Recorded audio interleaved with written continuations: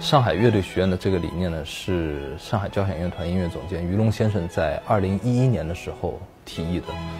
中国的职业乐团已经有将近六十多家了，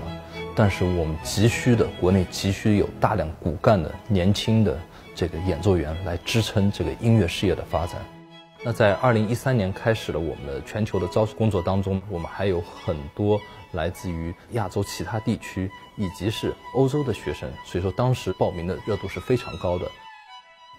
那有很多我们的报名的学生在他们心里面，他们其实有个疑问：哎，我们已经有音乐学院了，为什么还有一个乐队学院？它两者之间的区别是什么？乐队学院它的方向性是特别明确的，它让所有级的学生主要是 focus 在。乐队重奏、合奏的大家庭训练的这个方式里面，所以它的针对性是非常不一样的。二零一四年开始到二零一六年第一届毕业生，我们目前的就业率，